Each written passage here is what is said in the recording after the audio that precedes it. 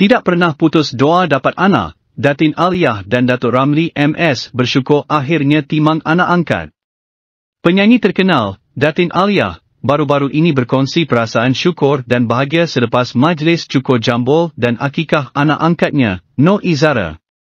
Majlis tersebut, yang berlangsung di Batu Pahat, Johor, dihadiri oleh keluarga dan sahabat handai, menyempurnakan satu lagi babak indah dalam kehidupan Aliyah dan suaminya, pemuzik terkenal Datuk Ramli MS, atau lebih mesra dikenali sebagai Tok Rem. Dalam satu hantaran di Instagram, Alia meluahkan betapa kehadiran No Izara dalam hidup mereka adalah satu rahmat yang tidak ternilai. Menurutnya, kehadiran cahaya mata ini membawa makna yang amat besar dalam rumah tangganya dan Tok Rem. Bila kita mencari cinta dunia, banyak hati yang kecewa dan hati kita juga malah hancur dan remuk. Tapi, bila kita mencari cinta Allah, segalanya seperti mimpi yang indah, tulis Aliyah, menggambarkan perasaannya yang amat bersyukur. Aliyah juga menyentuh tentang betapa banyak kebaikan yang telah diberikan kepada mereka, sehingga ada kalanya merasa malu untuk meminta lebih, mengingatkan diri akan dosa-dosa yang pernah dilakukan.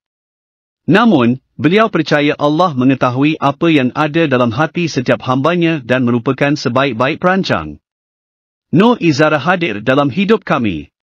Tidak pernah kami terfikir dalam perancangan kehidupan yang kami lalui dan sesungguhnya engkaulah perancang terbaik bagi setiap hambamu, tambahnya lagi, menunjukkan betapa besar rasa syukurnya atas kehadiran No Izara.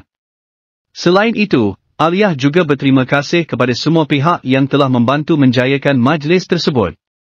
Beliau mengucapkan penghargaan khusus kepada Abang Ajis dan Kak Cik sekeluarga yang menguruskan segala persiapan majlis, serta kepada adik-beradik, Pak Cik Mak Cik, saudara mara, dan ipar dua yang datang dari jauh, termasuk dari Singapura. Terima kasih buat Abang Ajis dan Kak Cik sekeluarga menguruskan segala-galanya untuk majlis, akikah cukur jambul izara dan kenduri doa selamat buat saya sebelum menunaikan haji, kata Aliyah. Ucapan terima kasih juga ditujukan kepada sahabat handai yang sudi hadir memeriahkan majlis, serta penduduk sekitar yang memberi layanan baik kepada mereka, walaupun Alia hanya menumpang kampung abang iparnya. Alia menutup hantaran Instagramnya dengan doa agar semua yang hadir dan membantu diberkati oleh Allah.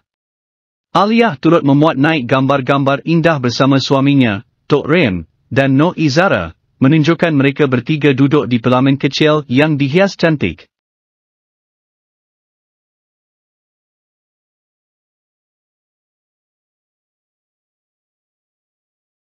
Dah tonton sampai habis kan? Apa pula pendapat anda? Jangan lupa subscribe, like, komen, share dan aktifkan butang loncengnya untuk notifikasi video terbaru dari channel ni.